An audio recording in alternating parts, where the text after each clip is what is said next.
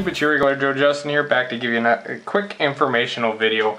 I, I uh, when I first got it started out with the AR-15s, I asked this question and uh, did a, quite a bit of research on it. And everywhere I went, I got a more complicated answer than I really needed.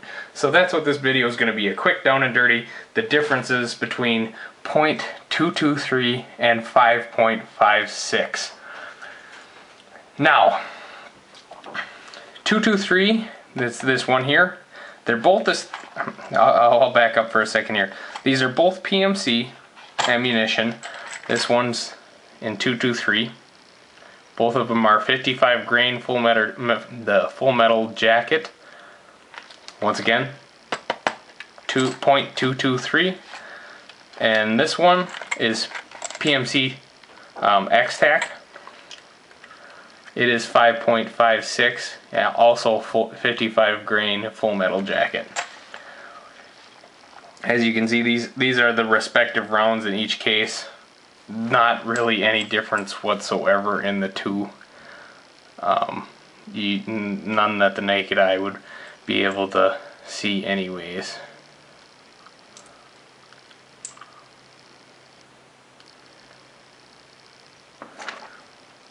So, 223. It is the civilian designation for the for that this round. 5.56 is the military designation for this round. The big difference, and everybody asks, can I fire 5.56 in my rifle that's chambered in 223, or can I fire 223 in my rifle that's chambered for 5.56? It is yes to one of those answers or one of those questions, excuse me.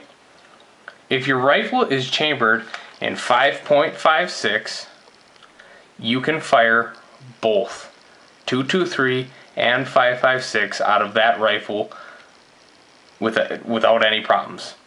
You uh, you generally a lot of people say you'll get more accuracy with 223. I don't know how true that is. I haven't ever found uh, a big difference. I'm not a match shooter, so I guess I wouldn't know. But if you have a rifle chambered in 223, you cannot fire 5.56 through that rifle. You can find these markings on your AR-15's barrel, or if you've got a bolt action that's chambered in 5.56 or 223, you'll find it on your barrel. Um, reason reason why you can't fire 5.56 in the 223 is this this round, this 5.56 round fires it, it, it fired in a higher pressure. Um, that means that in the chamber there's higher chamber pressures, which basically equates to, um, you know, a, a, higher amount of pressure per square inch or psi, and and than the 223. So that means that your, your rifle would be at risk of um, basically exploding. So your your bolt or your receiver might split, or you know, it could injure you or anybody by you. So it you know you can't safely fire 5.56 in a rifle chambered for 223. So that's just kind of the quick down and dirty on the differences in the two um, the two um, cartridges. They're basically the same. Um, the walls of this this cartridge, the brass itself is a little bit thicker.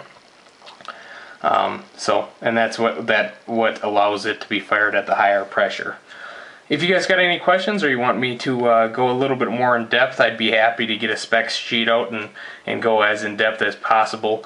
Um, if you got any questions, leave them in the comments below and I'll, I'll be sure to try to answer them. Um, once again, guys, thanks for watching For Joe's by a Joe and have a good rest of your day.